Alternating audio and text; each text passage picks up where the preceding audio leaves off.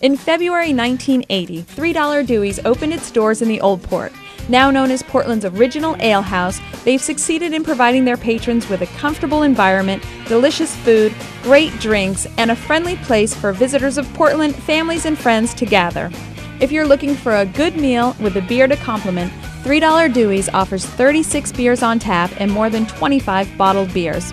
Whether it's a pint or a pitcher, their ale, lager, stout, or porter choices are endless. They even have 7 to 10 seasonal specialties all year round. If beer or Dewey's staple 16 ounce cocktail doesn't calm the appetite, there's no question their food will. For lunch, the local favorites are burgers made from fresh, char grilled beef ground daily, along with Dewey's signature hand cut fries. Beyond the famous burgers are the ever popular shaved chicken steak and pub plate. With grilled chicken, sausage, fruit, cheese, and crackers, you can't go wrong with a pub plate. For the night out after a long day of business, or with the family on excursions, their dinner menu is broad.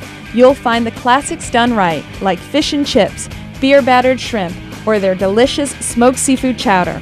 Whether it's a bowl of their famous chili or a 10 ounce ribeye steak prepared to perfection, you won't leave hungry. If that's not enough, while you wait for your food at your table or catch a game by the bar, you can enjoy their free, fresh popcorn right out of an old school movie theater popcorn making machine.